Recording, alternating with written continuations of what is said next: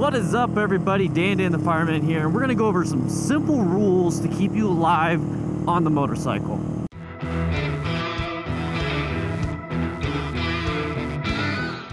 So first and foremost is risk awareness. Okay, you have to be paying attention while you're riding and recognizing situations where you feel confident, and at the same time recognize situations where you're anxious. Okay, so are you anxious at, let's say, an intersection right here? Intersections can be pretty scary. I mean, you got a lot of traffic, got a lot of debris right here. You got a lot of things that can come out and kill you. Okay, so if you're anxious there, that's a good insight of what quite possibly you need to kind of get over because motorcycling in town involves a lot of intersections. And when I say get over, that just means getting more experience, getting more practice, understanding the risk, how to mitigate the risks, and then you'll feel better. And this will keep you alive. So do you feel good at, let's say, riding in a parking lot? If you feel good at riding in a parking lot and practicing in a parking lot, keep doing it. Keep practicing, keep practicing until you get to the point where you're like, I could do more, I can do more, I can do more. Maybe practice and do more advanced skills in a parking lot because that's where you feel good. You feel confident. You feel like you can take on things. So keep doing that. If you're anxious with traffic, start learning about how to to get over that by learning proper riding techniques. Like right here, I'm off to the left and I'm opening up my own vision. I can see around this car now and I can see what's coming up and if he has to stop because of let's say an animal runs in the road, I can see that already and then I can stop before he even applies the brakes because I'm paying attention and he's not. Maybe. Ooh, watch out here, guys. This is why paying attention is very important. Intersections, everybody. Car accidents at intersections. People turning left in front of motorcyclists is the most dangerous thing out there for motorcyclists and stuff. So now I got to pay attention to this guy behind me. I'm doing a risk assessment right now because maybe they're paying attention to the car accident, not paying attention to me and running into me. Risk management how do we manage external threats? So external threats like this car that just got in a crash and you know hitting somebody maybe possibly hitting me so an external threat will definitely be other roadway users other people on the road whether it's a motorcyclist whether it's a car whether it's a pedestrian whether it's an animal whether whatever it is we're talking about the physical things that are on the road also think about surface conditions. If there's cracks in the road, tar snakes. Tar snakes are these things that you, I don't know if you can see. I'll put a thing up. Wet paint, wet road, gravel, all these different things. How do we get rid of that? How do we manage that? And that is basically having escape paths. Okay, so right now, I feel like I am far enough away from this car in front of me that I can apply the brakes and stop in time if I have to. But I also can swerve to the left and pretty much lane filter between oncoming traffic and this car. Remember, it's an emergency move and it's an escape path. You only want to do it in an emergency. So I will take that risk so I don't hit somebody if I have to. I also have an escape path to the right onto the shoulder. Now, if you don't think you can handle that, see, look, I'm on the shoulder. I got plenty of room. I'm going to get back before I get in trouble. Could be dangerous driving, but you got plenty of room on the shoulder, so I could definitely move over if I absolutely have to. So how do we manage internal threats? So that's what's going on in our head, okay? So we got to ride within our limits. In EMS, and I know a lot of you guys are EMS related, so you probably will understand this, but we talk about scope of practice.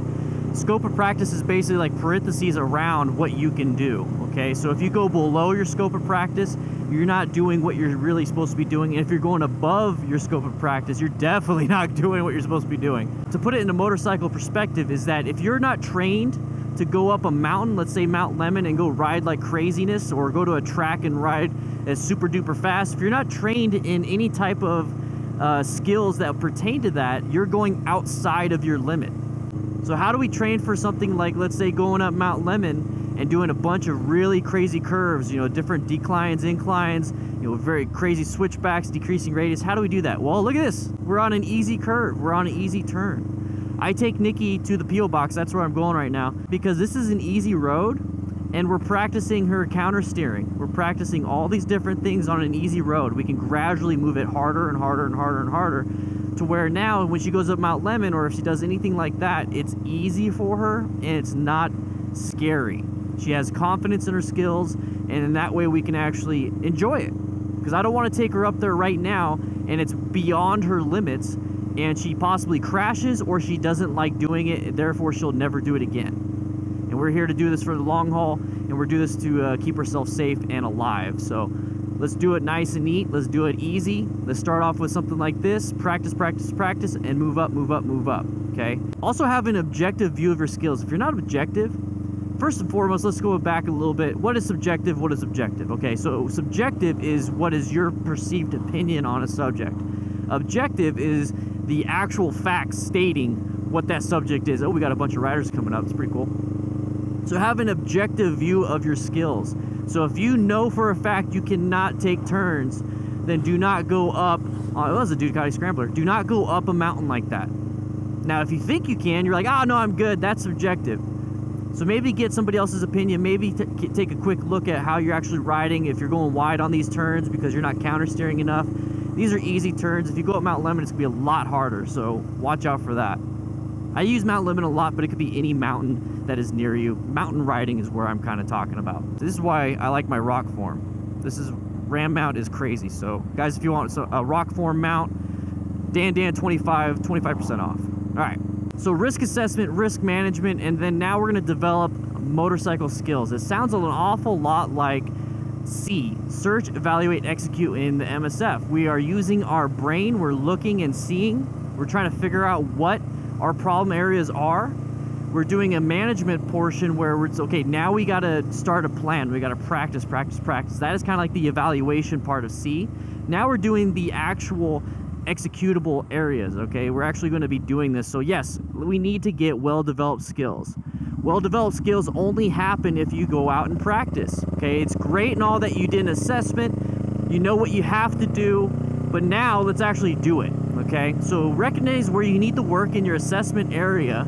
So like I said, intersections, parking lots, uh, curves, straight roads, getting on the interstate, whatever it is. Now go out and practice it. So go out and do it, do short spurts. So if you have problems with the interstate and you feel like you're gonna fly off the bike, you're like holding on, you're like, oh my gosh, start learning how to correct that. Tuck in your knees, tuck in your legs so you get less of a wind drag kind of duck down just a little bit and stay loose up top. Since you're tucking your knees for the less wind drag, you're also creating a nice grip on the on the on the bike, okay? You're also getting a nice grip. So now when you're riding on the interstate, you're nice and loose. So that's just one example, but there's other places you can get resources.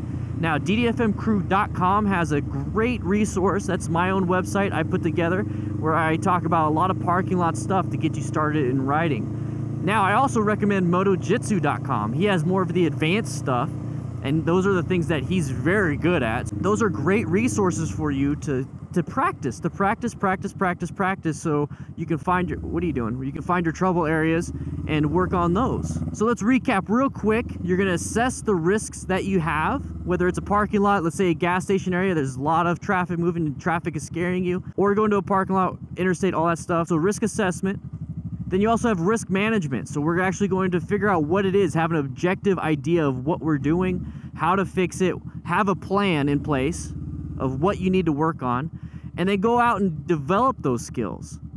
And like I said, the best resources that you're going to have is ddfmcrew.com, motojitsu.com, and if you're in the United States, msf-usa.org. That way you can go take a class.